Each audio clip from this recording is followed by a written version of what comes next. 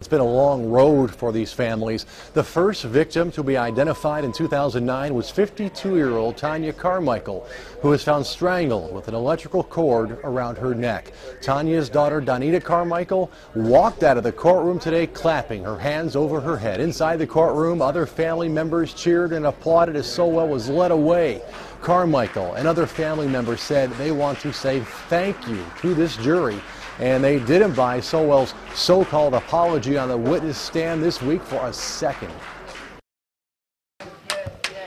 Yes, finally, finally, finally, justice, finally, we all happy, everybody's happy, he's gonna get what the hell he deserved, it's time, we happy, thank you. What do you think of his apology? It was no apology, that's why I'm not gonna even comment on it, it wasn't an apology, he got what he deserved, he was smiling when they brought him in here today, and that's why his He's gonna die for what he did. Parker said he was sick in the mind. What do you think of that? He's not sick in the mind. He's not sick in the mind. He's very, very sane. Like everybody else, like the rest of us, justice has been served. What do you think of his apology? He didn't apologize.